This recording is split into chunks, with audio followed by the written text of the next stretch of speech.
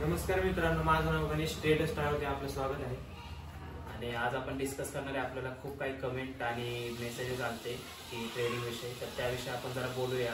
आणि आज अशा पण मार्केटला सुट्टी आहे तर आपण आज स्पेशली व्हिडिओ बनवतो त्याविषयी तर आपल्या ज्या काही कमेंट असतील आणि जे काय मेसेजेस आपल्याला आले होते तर त्याविषयी आपण आज बोलणार आहे. तर काय होतं जास्त कमेंट आपल्याला? जास्त कमेंट म्हणजे असेच होते की प्रॉफिट कसा काढायचं एवढे पैसे लावल्यावर कसं प्रॉफिट निघत म्हणजे काय काय जण म्हणत होते की हजार रुपये लावले तरी लगेच प्रॉफिट भेटेल का असेच मेसेज होते सगळे. पण तसं नाही की सगळ्यांना वाटतं की पैसे लावले ना डायरेक्ट नंतर प्रॉफिट किंवा लॉस ना असं नाही की कंटिन्यू मध्ये कंटिन्यू ऑनच राहावं लागतं शेअर मार्केटमध्ये कधी ते एसेल होतं कधी टार्गेट होतं हे सांगता येत नाही. कॅन्डल वगैरे सगळं ब- बघावं लागतं. हेच.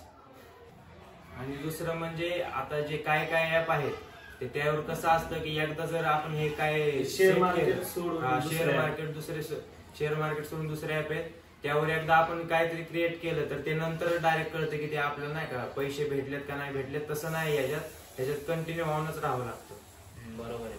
आणि मार्केटमध्ये डायरेक्ट येऊ शकत नाही कोणी पण. म्हणजे जर तुम्ही आमचे व्हिडिओ बघितले आणि तुम्हाला असं वाटलं की चला आपण पण अकाउंट बनवू आणि पैसे ऍड करू मग प्रॉफिट तसं नाहीये. तुम्हाला त्याचा अभ्यास करावाच लागेल. आणि अभ्यास करावा करण्यासाठी सुरुवातीला जो बेस्ट मार्ग आहे तो तर आहे पेपर ट्रेडिंग आता पेपर ट्रेडिंग कशी करायची आता आपण व्हिडिओ बनवू त्याच्यावर. त्यासाठी एक एक दोन ॲप आहेत. त्यावरती तुम्ही पेपर ट्रेडिंग करू शकता. मोबाईलवर पण करू शकता. आणि पी सीवरती पण तुम्ही करू शकता. तर ते ॲपमध्ये पेपर ट्रेडिंग ज्यावेळेस तुम्ही कराल तर पेपर ट्रेडिंगमध्ये काय होतं तुम्ही एखादी स्ट्रॅटेजी बॅक टेस्ट करू शकता. आणि पेपर ट्रेडिंगमध्ये आपले रिअल इमोशन इन्क्लूड नाही होत कारण पेपर ट्रेडिंगमध्ये फेक पैसे असतात आपल्याला. दहा लाख रुपये आधीचेच भेटलेले असतात कोणाकडून तरी फेक पैसे. तर त्या त्यावर काय होतं आपण डायरेक्ट पे ट्रेड घेतो आणि टार्गेट झालं आपण म्हणतो चला झालं असं कंटिन्यू प्रॉफिटमध्ये पण पेपर ट्रेडिंग ह्यासाठीच करा की ती स्ट्रॅटेजी नीट कशी वर्क होती कसे तिचे टार्गेट लावतो आपण कसे स्टॉप लॉस लावतो यासाठी पेपर ट्रेडिंग करा. आणि ज्यावेळेस नंतर तुम्ही रिअल पैसे टाकाल त्यावेळेस तुमचे परत रिअल इमोशन इन्क्लूड होऊन पण तिथून परत वेगळी मेहनत आहे. तर ह्यासाठी पेपर ट्रेडिंग पहिली महत्वाची आहे की तुम्हाला पेपर ट्रेडिंगमध्ये इमोशन असते पण प्रॅक्टिससाठी चांगलं आहे. हो प्रॅक्टिस करा. प्रॅक्टिससाठी पेपर ट्रेडिंग येते स्टार्टिंगला नंतर आपण रिअलमध्ये टाकून मग परत हळूहळू करू शकतो. पण डायरेक्ट कोणीच ऍप ओपन करतो मग पैसे टाकतो लगेच प्रॉफिट होईल. असं नाहीये. दुसरं app तर. बेसिक समजून घ्या युट्यूबवर आहेत व्हिडिओ किंवा आमचे पण बघा. समजून जाईल तुम्हाला सगळं बेसिक आणि कसं आहे पेपर ट्रेडिंगमध्ये पण आहे ना काय वाटतं आता प्रॉफिट तुम्हाला वाटतं अरे इथं प्रॉफिट झाला आपल्याला सलग चार दिवस. तेच जर रिअल केलं असतं तर खरं खर्चे पैसे आले असते. पण काय मेन आहे ना रूल फॉलो करायचे रूल जे आहेत ना ते बनवायचे आधी. प्रॉपर ते प्रॅक्टिस ही झालीच पाहिजे नाही तर काय दोन तीन दिवसाचा पेपर ट्रेडिंगचा प्रॉफिट दिसतोय म्हणून डायरेक्ट इकडे एंट्री मार्केट ट्रेडिंग बंद होऊन जाईल. आणि ज्यांना पण सुरुवात करायची खूप जणांचं आलं किती कॅपिटलपासून करू शकतो. किंवा काय करावं लागेल? तर कॅपिटल म्हणलं तर आहे ना बईंगसाठी जे बयर्स ज्यांना बईंग करायचे कॅपिटल कमी आहे भरपूरच कमी आहे. आणि मिनिमम दहा हजार तरी पाहिजे जेणेकरून आणि मिनिमम दहा हजार तरी पाहिजे. आणि त्यातलं पण रिस्क जे आहे ती दहा टक्क्याचीच घ्यायची दहा हजारामधली. कारण की कमी कॅपिटल आहे म्हणून रिस्क थोडी वाढते कारण की दहा टक्के. म्हणजे हजार रुपये बरोबर ना? मग त्या हजारच्या ह्याच्यातच ट्रेड करायचा. आणि काय होतं माहितीये का? दहा हजार पण कमी आहे ऍक्च्युली पण प्रॅक्टिससाठी आता प्रॉफिटसाठी पण दहा हजार टाकणार तुम्ही म्हणता दहा हजार टाकून आपण आता प्रॉफिटसाठी रोजच घेऊ शकतो. प्रॉफिट घेऊ शकतो दहा हजारावर जसं तुमचं स्ट्रॅटर्जी बिल्ड होईल. जसा एक्सपिरियन्स वाढेल तसं प्रॉफिट होऊ शकतो.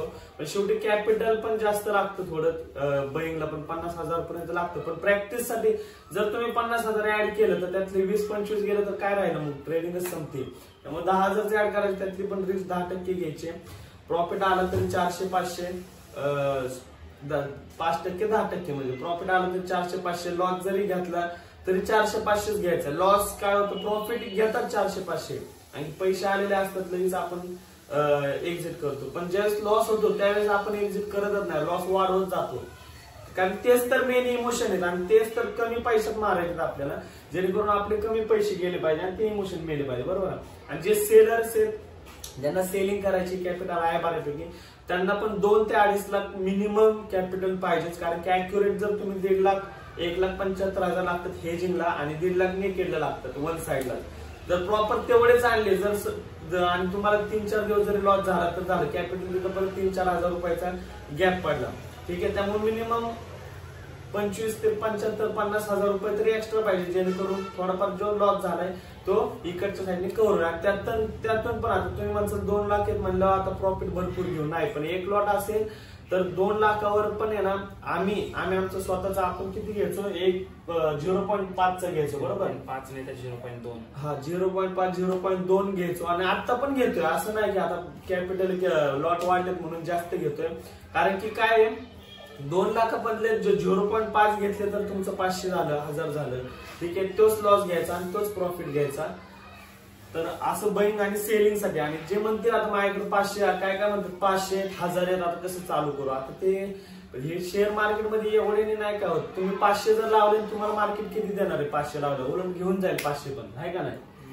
त्यामुळं. आणि नवीन वाल्यांनी काय बेसिक व्हिडिओ पण आपण टाकणार आहे.